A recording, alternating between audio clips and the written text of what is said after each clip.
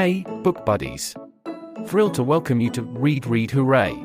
Megan is 8, a huge book lover, totally obsessed with books. She has been gobbling up books ever since she could remember, and has explored countless worlds through pages of amazing stories. She wants to share not only with me, but with you, and build book loving community together.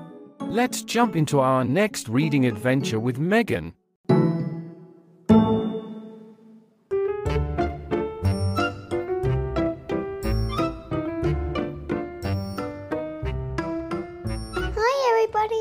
It's me, Megan, your favorite podcaster. Today, I am going to introduce this book to you called The Day the Crayons Came Home by Drew Daywalt and Oliver Jeffers. Well, Oliver Jeffers was the illustrator. And it contains special glow in the dark drawings. One day, Duncan and his crayons were happily coloring together when a strange stack of postcards arrived for him in the mail. So the first letter was called Dear Duncan, not sure if you remember me. My name is Maroon Crayon. You only color with me once to draw a scab. But whatever, anyway, you lost me two years ago in the couch. Then your dad sat on me and broke me in half. I would never have survived had Paperclip not nursed me back in my health. I'm finally better, so come and get me. And can Paperclip come too? He's really holding me together. Sincerely, Maroon Crayon. Duncan. Duncan's bedroom upstairs, this house. Funny. Let's continue. Dear Duncan, no one likes peas. No one even likes the color pea green, so I'm changing my name and running away to see the world. Sincerely, Esteban the Magnificent, the crayon formerly known as pea green. Duncan, Duncan's bedroom upstairs, this house. So let's have a look at the next one.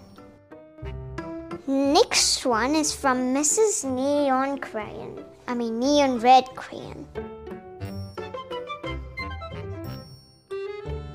Hi, Duncan. It's me, Neon Red Crayon. Remember that great holiday we had with your family? Remember how we laughed when you, we drew a picture of your dad sunburn? Remember dropping me by the hotel pool when you left? Clearly, you do not, because I'm still here. How could you miss me? Anyway, after eight months waiting for you to come back and get me, I guess I'm walking back. Your left behind friend, Neon Red Crane. Duncan, Duncan's room, Duncan's house.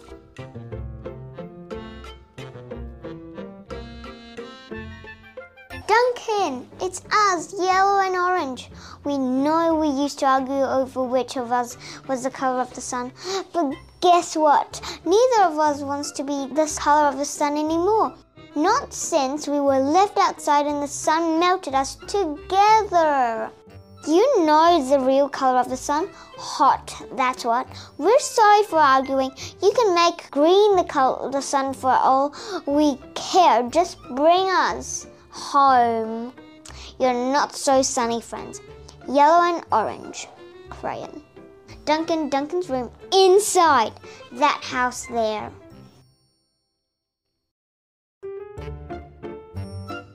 Hey Duncan, I'm not sure you recognize me. After the horrors I've been through, I think I was Tancron or maybe Burnt Sienna. I don't know. I can't tell anymore. Have you ever been eaten by a dog and puked up the living room rug? Because I have. I have been eaten by a dog and puked up on the rug. Duncan, and it's not pretty. Not pretty at all. I'm more carpet fuzz than crayon now. Can you please bring me back your indigestible friend, Tan, or possibly burnt sienna crayon? Duncan, his bedroom upstairs. Dearest Duncan, um, could you please open the front door? I still need to see the world. Sincerely, Esteban the Magnificent. Duncan. Duncan's bedroom upstairs, this house. Hey Duncan, remember last Halloween we we, we told your little brother there was a ghost under under the basement stairs? Then we drew that scary stuff on the wall. Sure was funny when he he he ran sc- screaming, right? But it, it wasn't so funny when you you you forget to take me out uh, uh, out of the basement. Please come and get me. I'm kind of terribly horrified. Your scared friend, glow in the dark crane. Duncan. Duncan's bedroom upstairs this house. I'm using my funny reading voice, huh? Dear Duncan, looks like I'm, I'm almost home. Been through China, Canada, and France, I think. Just crossing Newcastle by camel now. Newcastle has giant pyramids, right? See you soon, neon red crayon. P.S. Nick stopped the North Pole, I think. Duncan, Duncan's room, Duncan's house. Duncan, does page 8 of Pirate Island ring a bell? Kind of a big payday for Captain Greenbeard there, don't you think? And no bronze or silver in that pile, huh?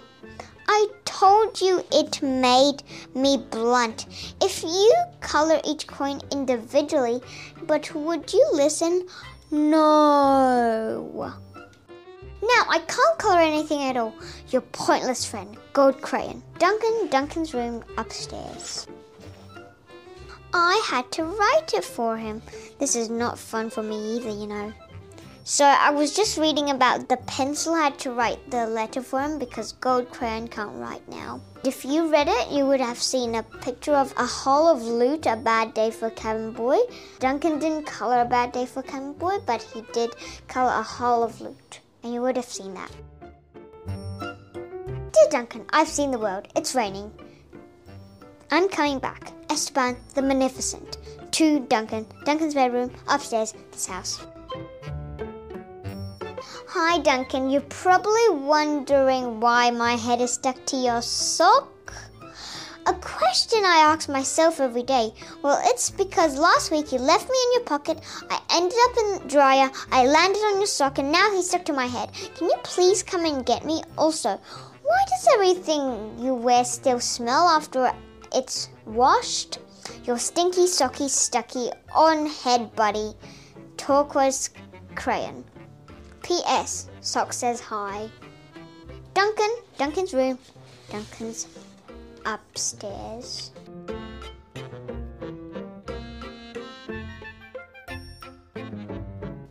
Mr. Duncan, I know I'm not your client. I know I belong to your baby brother, but I can't take him anymore. In the last week alone, he bit in the top of my head, put me in the cat's nose drawn on the wall, and tried to color rubbish with me. The worst part is that he is a terrible artist. I can't tell what he's drawing. Uh, donkeys? Monkeys? Donkey monkeys? Picasso says every child is an artist, but I don't know. He don't think I met your brother. Please rescue me, your desperate friend. Big chunky toddler crayon. Duncan. Duncan's room upstairs this house. Duncan, greetings from the Amazon rainforest. Making great time. I think I'm almost home. Neon red crayon. Duncan, Duncan's room, Duncan's house.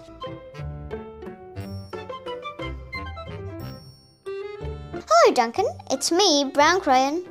You know exactly why I ran away, buddy. Everyone thinks I get all the great coloring jobs, chocolate, puppies, ponies. Lucky me, right? But they don't know what else to use me to color, do they? I don't think so. The rest of that drawing was great. But did it really need that final brown scribble? I'll come back, but please let's stick to chocolate, okay? Your very embarrassed friend, Brown Crayon. Duncan, Duncan's room, Duncan's house next door. So Bear goes into the wood by Duncan. So there was a picture of a bear in the wood, and the little brown scribble was supposed to be poop. Duncan was sad to learn of all the crayons he lost, forgotten, broken, or neglected. Is that how you say it? Yeah, I think so. Over the years. So he ran around, gathered them up, but Duncan's crayons were also damaged and differently shaped than they used to be that no longer fitted in the crayon box. So Duncan had an idea. He built a place where every crayon would always feel like home. There's no dogs down there, are there? Nope. No turkeys either. Oh, you flatter me, but it's not real chocolate. Let's have a party. This one's from my blue period, but it's not really blue, lilac. I think that door's for us. Wee door, big door. All crayons welcomed the Crayon Fort. No dogs allowed. Ah, there you are. I could do with a haircut. Nope. I mean, hope that isn't a metal detector. No, I think everyone is welcome. Look, good lads. Who are you wearing? Ooh, I think he does. He goes by Ted. I'm Ted. And then in Cleverland, I got to hike the Great China. So let's have a look about the crayons here. There was the crayons and Duncan mostly. Yeah, pretty much. And I liked the neon red crayon because she was so funny. And the setting was, I don't know where the setting was. There wasn't a really um, specific place for this, but I'll just say Duncan's house. The part that I liked the most was when um, Neon Red Crane said, Going through the Amazon rainforest, Duncan. See you soon, I think. And yeah, she keeps saying I think, but she's actually through the snow, not the Amazon rainforest. All um, crayons have lots of troubles and they need Duncan to help them. And that was pretty nice because Duncan gathered all their crayons up and made something for them to live in so they won't be so annoyed anymore. So, yeah, that was a good, a really, really, really good story. I hope you liked it. And let's have a look at what emotion I had after I read this book. If I was to um, say an emotion, I would say really unhappy for all the other crayons and also really annoyed because Duncan keeps making trouble for them and also really unhappy for Duncan as well because, well, Duncan tried really hard to keep his crayon self safe, but his friends seem to have thought, okay, Duncan, you haven't done pretty much today.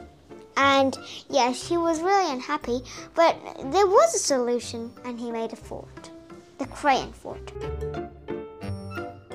There were a few connections to these books. I don't usually do this, but I will today. There was a few other picture books by Arthur Jeffers. Yeah, pretty much. So today the rating is the maximum is 10, and today I'll give this a 10 because it is a really funny story and I like how crayons um, raise all their problems to Duncan so he would help them and five for because it was a really creative story. Four because it was really funny and they get to um, be alive and write letters to Duncan and then they get to yeah pretty much and they get to live in the big crayon fort. That was a really lovely story. I would love to share other stories with you. I hope you'd keep reading and stay tuned. Be sure to check out all my podcasts, and I'll hope to see you next time. Bye, everybody.